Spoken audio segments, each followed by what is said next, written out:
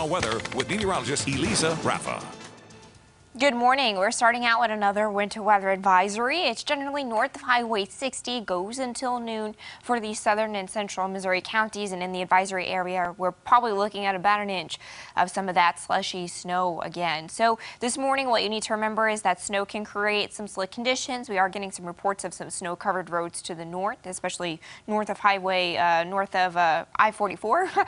and then we're looking at uh, those conditions where you need to drive a little bit slow. So what to expect this morning, we're starting to get that rain changing to snow from north to south, seeing a little bit of a mix of everything where it's starting to stick, maybe as some slush in Springfield where the road temperatures are still trying to cool. North of I-44 is where things are a little bit more snowy, a little bit more slick, so you need to keep that in mind. Uh, extra care, bridges, overpasses, and sidewalks out there this morning. Wet roads down in Branson, it's 34 degrees, so we're seeing mostly a cold rain, maybe some icing on the bridges and overpasses. It's 32 degrees in Springfield, cold colder upper 20s up top to the north where we're seeing things stick a little bit better. So again, this is very similar to what we had last week, a, a mix of a little bit of everything here on that radar. Springfield is seeing a mix of some snow, some sleet, some of that slushy rain, but there is some snow being reported at the airport. They've got a little bit of a dusting down. They've got an inch already down in Appleton City. A lot of the school closings are up in this area, again, where things are sticking a little bit better.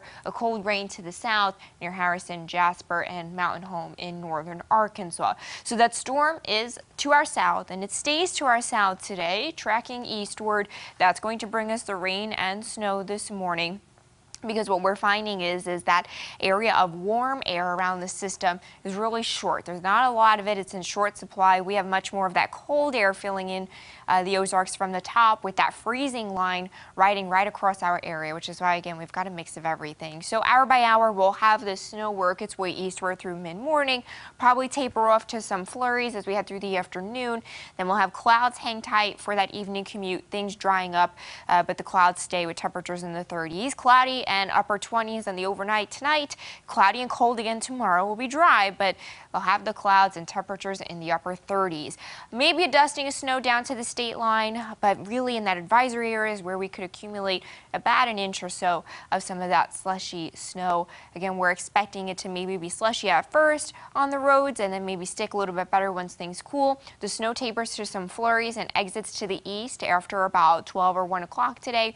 Will be dry by the evening commute, but it stays pretty cold and cloudy. The next thing that we're watching is this big dome of high pressure with a very warm and dry pattern that's going to take control right in time for the Super Bowl weekend. Things are going to be really warm both Saturday and Sunday. Sunday especially if you're doing any tailgating parties for the Chiefs. Temperatures in the 50s with sunshine. By kickoff around 5.30, about when we hit our highs, we're looking at low, uh, highs in the low to middle 60s with sunshine. Should be really nice for Super Bowl Sunday.